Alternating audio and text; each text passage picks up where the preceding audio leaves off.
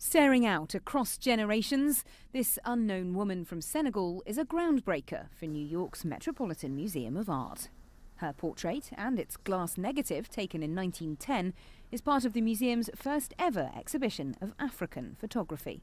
We don't know who that photographer might have been, but the presence, the self-assurance, uh, the gaze, the way this uh, woman, the sitter, is presenting herself is very powerful.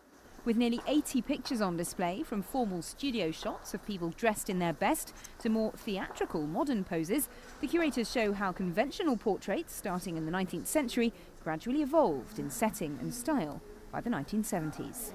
This exhibition shows the development of West African photography from the late 1800s to the late 20th century. But more importantly, it also shows what happens when the technology of photography is taken out of the hands of colonial artists and put into the hands of West Africans themselves.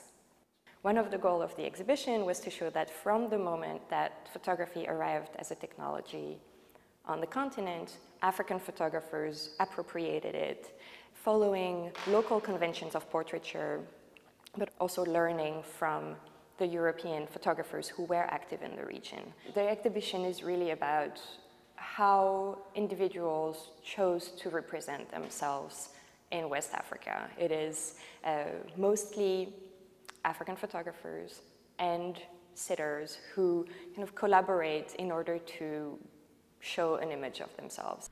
And that idea of getting beyond the colonial European view of Africa is what's been most striking for many visitors. I thought what was really important about the exhibit was that uh, it, all of the photographs were done by African uh, photographers, and so many times you just see it from the, the European gaze.